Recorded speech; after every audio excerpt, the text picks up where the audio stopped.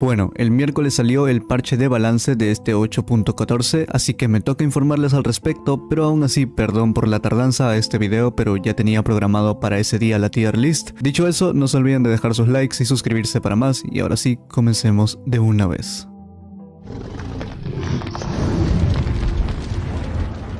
Ada, Neutral Sig de Blasters, hitbox enormemente aumentada hacia el usuario para las explosiones de los disparos terrestres y aéreos. La lógica de la hitbox fue mejorada para las explosiones terrestres, por eso se dan cuenta que en el 8.14 esta se expande más hacia los lados al tocar el suelo y no hacia abajo como era anteriormente, y el recorrido máximo horizontal fue ligeramente disminuido durante las explosiones para una mayor consistencia en la explosión final. Downsig de Blasters, fuerza aumentada de un rango de 55-30 fijo o 45-20 variable a un rango de 60 30 fijo, 52 20 variable. Diana, Downsig de Blasters. Se redujo el tiempo de carga mínimo de 11 a 9. Se redujo el tiempo total de recuperación en caso de falla de 21 a 19. Ember, Neutral Sig de Catars. Se redujo el tiempo de carga mínima de 7 a 6. Se redujo el tiempo de recuperación total de 20 a 18. Y Mugi, 6 de Greatsword. Se aumentó el tiempo total de recuperación de 24 a 26. Se redujo la hitbox vertical al final de la ventana de golpe. Downsig de Greatsword. Se aumentó el tiempo de carga mínimo de 10 a 12. Sizig de hacha. Se aumentó el tiempo para golpear del primer golpe de 15 a 17. Sir Roland, Neutral Sig de Rocket, se redujo el tiempo total de recuperación de 17 a 14. Bibi, Neutral Sig de Botas, se redujo la Hurbox para no evadir ciertos ataques a baja altura. Down Sig de Botas, se incrementó el tiempo total de recuperación de 20 a 22. Wushang, Neutral Sig de Lanza, se redujo la fuerza de 70 fijo 52 variable a 60 fijo 50 variable. Sí, es un parche bastante flojito en cuanto a balances, pero se agradece que a pesar de la salida del crossover hayan hecho esto en paralelo. ¿Qué les pareció? Los cambios. Dejen su like y suscríbanse que este año debemos llegar a los 20k de subs. Así que denle ahí. Nos vemos en el siguiente video.